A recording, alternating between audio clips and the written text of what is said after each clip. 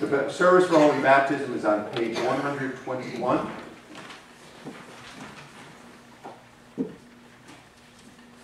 In holy baptism, our gracious Heavenly Father liberates us from sin and death, and by joining us to the death and resurrection of our Lord Jesus Christ.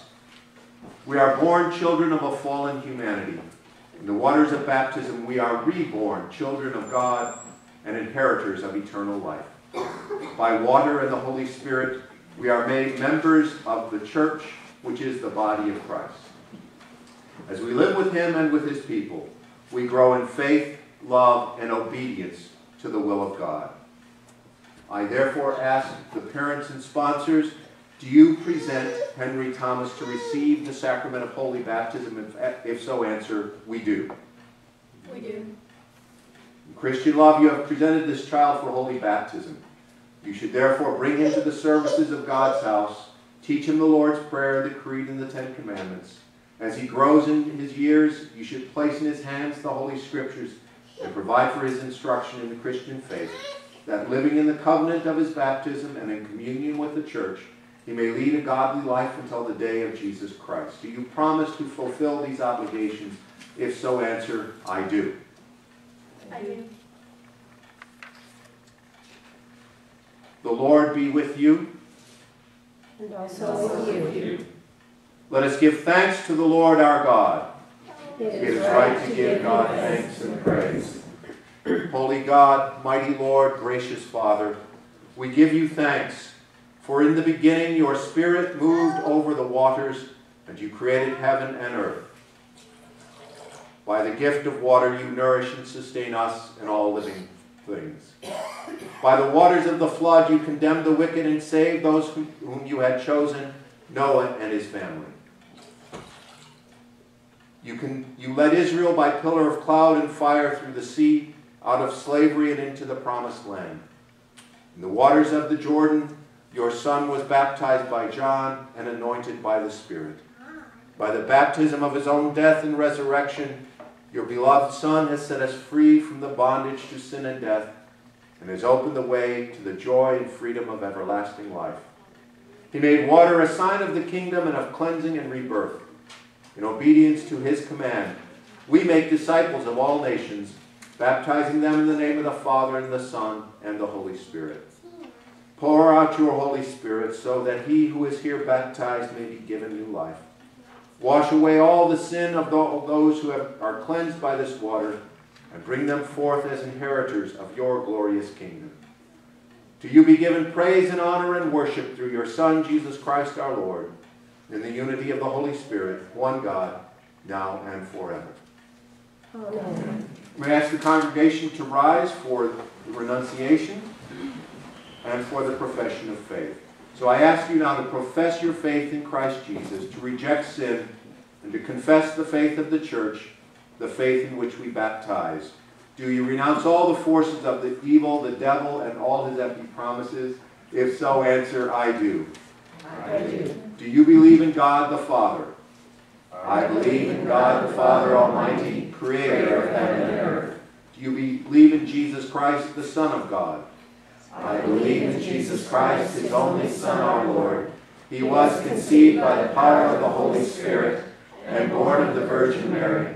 He suffered under Pontius Pilate, was crucified, died, and was buried. He descended into hell. On the third day he rose again. He ascended into heaven and is seated at the right hand of the Father. He will come again to judge the living and the dead. Do you believe in the Holy Spirit?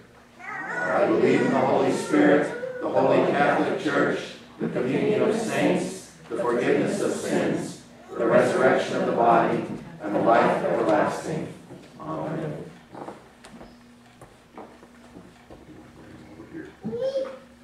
You want to pass to me? You, you think you'll be okay? Hi, Henry. Hi there. How are you? How are you, bud?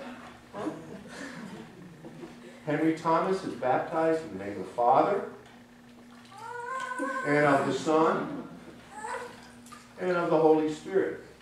Amen. Almighty God, who has begotten thee again of water and the Holy Spirit keep you in true faith unto everlasting life.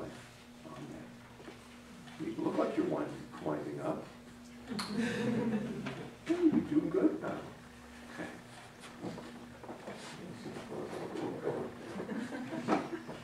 We're on page 124. You may be seated. The Lord be with you. And also with you. God, the Father of our Lord Jesus Christ, we give you thanks for freeing your sons and daughters from the power of sin and for raising them up to new life through this holy sacrament.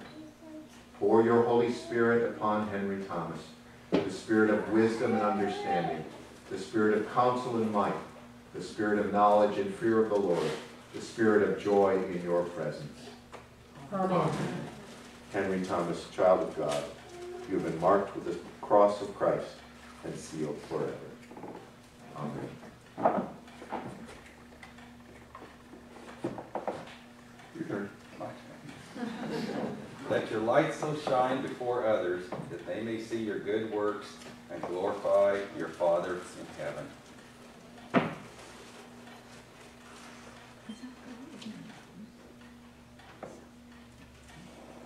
We suggest you do is that you make another celebration for him. On the anniversary of his baptism, bring out the baptismal candle each year. Light it.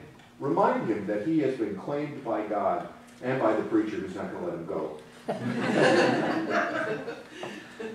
and that he is a child of God forever. Let us pray. O God, the giver of all life, look with kindness upon fathers and mothers.